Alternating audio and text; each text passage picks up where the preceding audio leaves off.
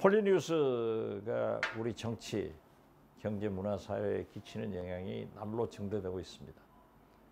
폴리뉴스의 발전을 위해서는 우리가 많이 읽고 또 유튜브 같은 것도 좋아요, 구독 같은 것을 많이 해서 힘을 좀 보내주자라고 말씀드리면서 폴리뉴스 화이팅!